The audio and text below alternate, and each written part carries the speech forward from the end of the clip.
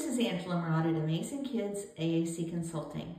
Um, I just wanted to give you a comparison of the brand new update for TouchChat with WordPower version 2025.5.0 in parentheses 14 close parentheses. This came out yesterday, December 3rd, 2025. And because I happen to have a secondary iPad, I always test the waters first there. I've learned the hard way to test things out first, not on my main iPad, but on my secondary one. And sometimes there's awesome new features. Sometimes there's glitches. Sometimes there's things that the company may have perceived as being fine, but aren't necessarily fine to particular users. So I always test the waters first. And I like the new automatic backup option that they have. That, once I did it a couple times, seemed to go pretty smoothly. Would I rely on that as my only backup for heavily customized AAC? No, I would not. Um, because it appears to only be saving to um, files. I used iCloud and it was defaulting to saving directly in the Apple files there on the iPad versus a folder out in iCloud off device. Um, I haven't tried the other options for Google Drive or Dropbox just because I don't have as much storage space available there. Um, but just me, if I've spent a lot of time customizing something, I'm going to back that sucker up in multiple ways. Multiple ways outside of a device. So I may back it up to a thumb drive, USB thumb drive. I may back it up to OneDrive. I may also have it in my Apple files. So I would encourage folks to not solely rely on that new automatic backup, although it's great that it's there. That Hopefully will prevent folks from losing customized files.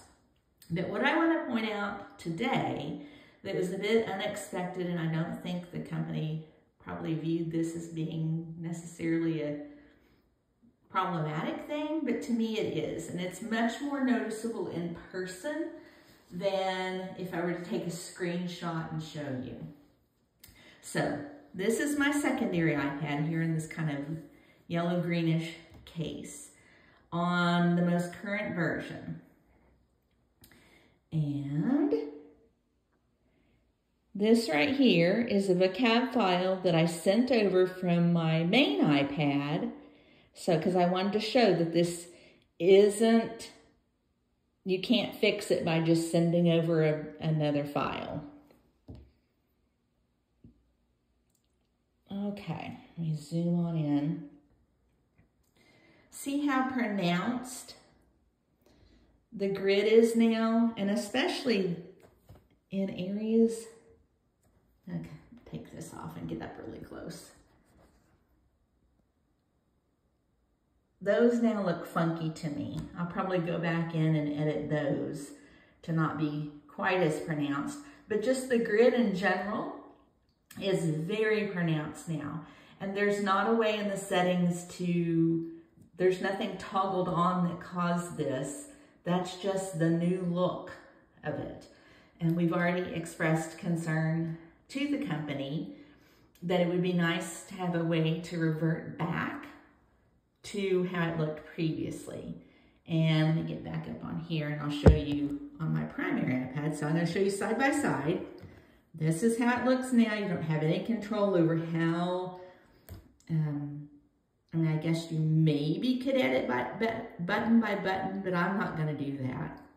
I'm just not going to update my main vocab file. All right. Whoops. I wanted to show. All right, so this is my main iPad. It is still on the previous version. So the version right before yesterday's. And I'll show you the same vocab file in there.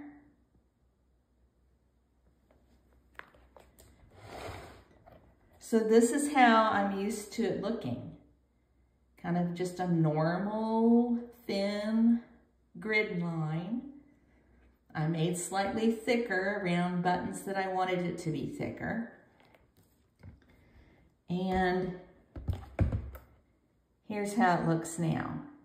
Now, one thing I do like about the new look is that the symbols take up more space in the buttons. So that's a good thing, I feel like. But how thick that gray grid line is,